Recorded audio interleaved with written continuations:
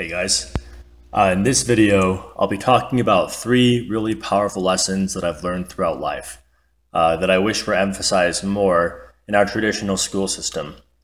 Uh, I'll just try to keep this video short and sweet. If you like this stuff, be sure to let me know. Perhaps I'll return and make it into a series. So, that being said, I've learned a lot of information in school. I was taking a pretty serious curriculum. In high school, it was nearly all APIB courses and I continued on that path in college um, until I started to realize a lot of stuff they teach you in college and that I learned previously in grade school is not often used in the real world. And I wish they emphasized some more important life skills. So that's what, I'm going to be talking about here. So, also a, a preface to this video the first thing I want to say is our school system is kind of like the military. Uh, just to kind of explain that, uh, obviously to a lesser extent but you're basically encouraged to give up your willpower uh, and follow their protocol. It's it's kind of like turning creative humans more into like order taking machines. So that's the first thing I have a problem with in our school system.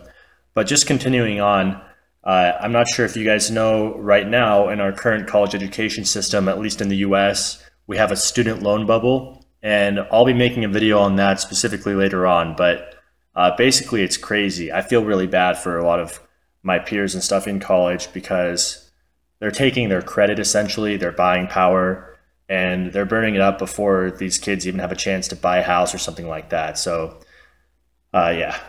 Uh, just as far as education goes, uh, let me put it to you this way.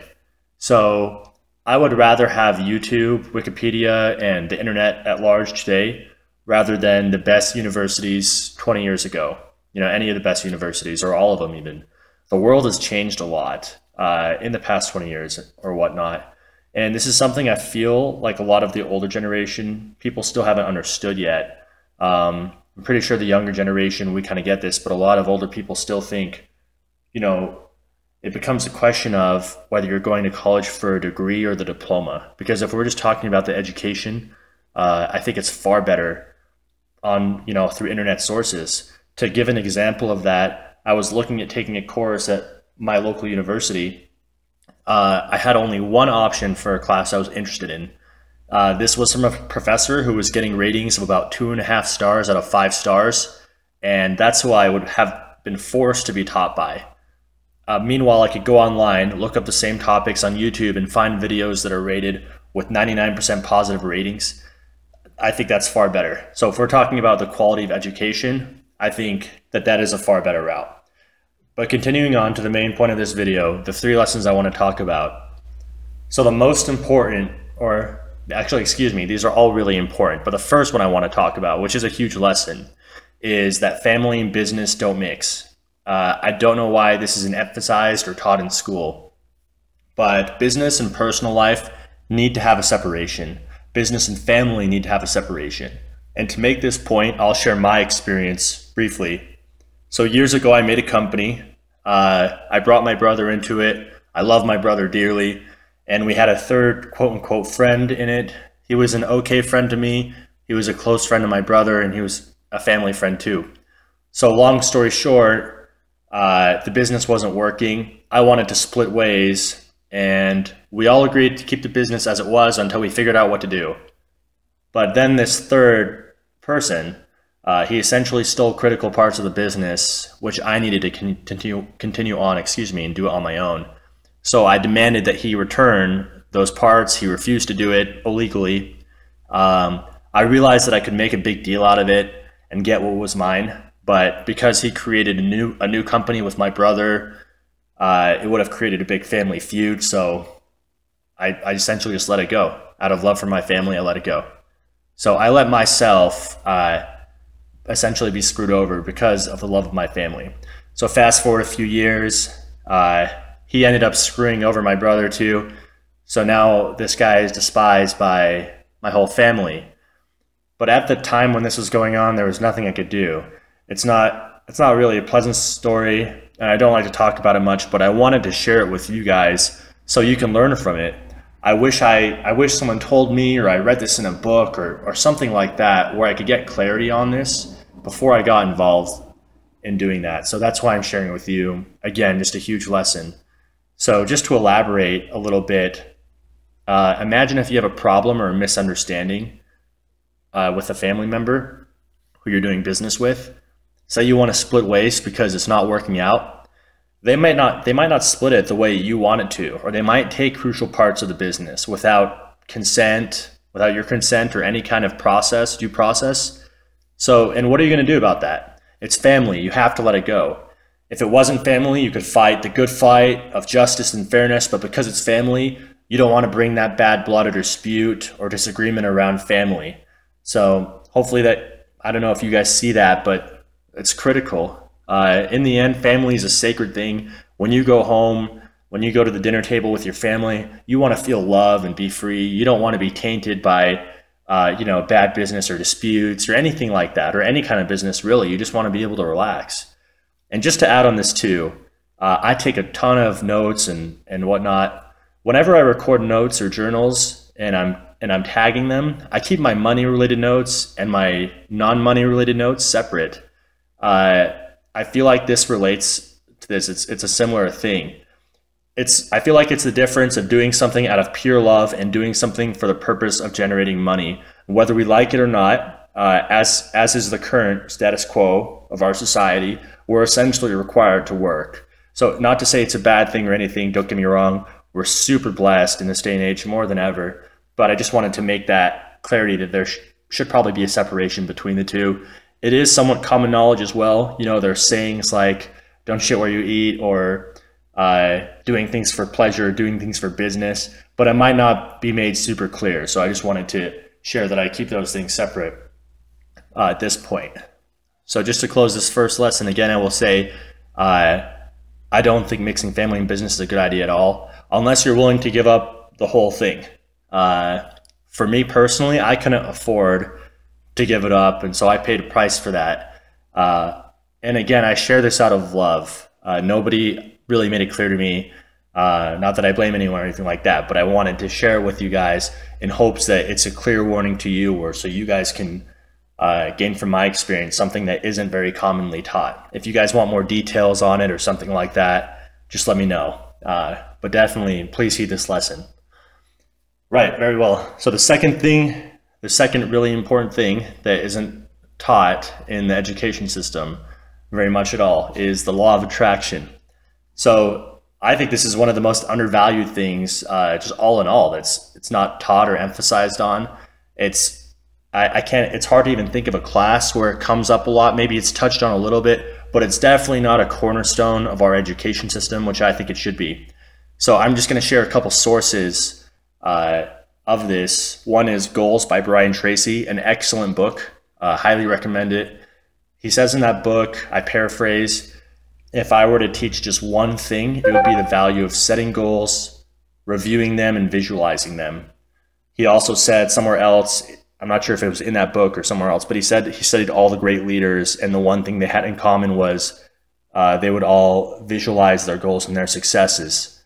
So I think that's really important. There's also the movie The Secret, a really a great movie. It emphasized this, the law of attraction. You become what you think about. Earl Nightingale, who's a great teacher, uh, he recorded a clip called The Strangest Secret in the World. And that talks about this, essentially saying the same thing uh, Napoleon Hill, who wrote Think and Grow Rich, which is an extremely good book, uh, and countless other people too, like Carnegie. It's pretty common knowledge among successful and powerful people, but again, hardly emphasized in our school system, which I think it, it should be a cornerstone of anyone's education. So, just to add as well, there was a study on a Harvard graduating class, I think it was the 1980 business class, and they were looking at how many people from that class set goals. I think it was like 10%. And that's just crazy to me. When you take such a strenuous curriculum, goal setting, visualizing goals should be a, a tremendous part of that. But clearly, you know, at least it wasn't in the past. I, I feel like it still really isn't uh, in much of the education system. So, just to add one more thing too on this point, The Secret discusses this stuff really well. I love that movie. Um, to kind of summarize the ideas from that movie, what they say is essentially to feel good, uh, think about things that feel good, visualize your goals uh, and your successes that you want to do, and again, use your feelings as a guidance system. Uh, just make sure you feel really good. Uh, you know, if you have a good feeling, follow that. Or uh, if you're not so sure, try to turn it into something that feels good or meditate perhaps to find clarity on what you really want. Uh, again, and what feels good. It's just a good philosophy toward life and success in general, I'd say. Right on. So the third thing I want to talk about is the value of listening to your feelings. This is the third major lesson, which I feel like is not taught in the school systems. So I consider this one of the most important, if not the most important thing that I've learned in life. So I remember as a kid, I experimented with this. When I wasn't feeling very well, like if I felt bad because I was being dragged down by some some mental thoughts, I would think about what thoughts would be bothering me. So let's say there was a couple things that were kind of bugging me. I would ask myself if let's say if situation A was was better, would I feel better? Uh, if not, I would ask if situation B was better, would I feel a lot better? And for most of these, you know, you would feel a little better if certain things were better, but there was usually one thing that stood out that if that was better, you would just feel way better or relieved or something like that. So in doing this, it helped me identify what was really bugging me and would help me then I could work on that thing, that thing that bugged me the most. Uh, so that, that was some some cool thing I just kind of learned for myself when I was younger.